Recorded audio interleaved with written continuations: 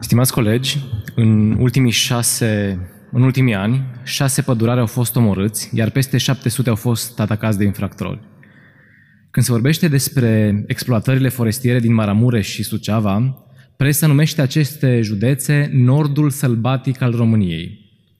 Aici, meseria de silvicultor este extrem de periculoasă, iar când sunt prinși, hoții de lemne devin agresivi chiar și cu polițiștii.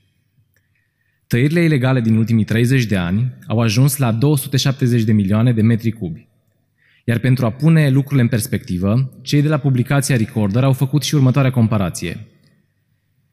Imaginați-vă o coloană de lemne, o coloană de camioane încărcate cu lemne furate și așezate bară la bară de-a lungul granițelor României.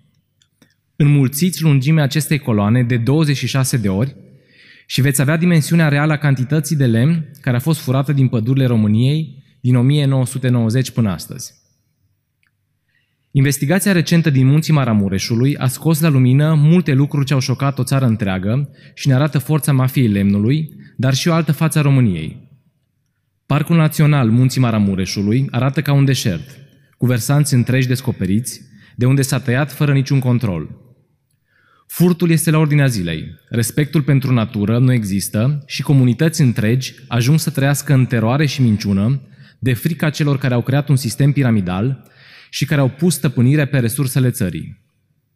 În acest context, mă simt dator să vin astăzi în fața țării și să mă adresez celor care au curaj și verticalitate și care se luptă să oprească furtul din jurul, jurul lor.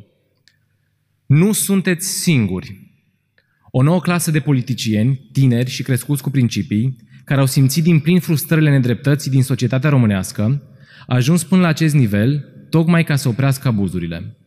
Doresc să-mi exprim susținerea și aprecierea pentru toți silvicultorii care se sacrifică fără reținere pentru dreptate. De asemenea, fac un apel către toate instituțiile statului care au atribuții în gestionarea acestor situații să ia măsuri de urgență pentru a proteja românii de furtul pădurilor și un apel către întreaga societate să facem zid în jurul dreptății și să demascăm fără ezitare corupția și hoția.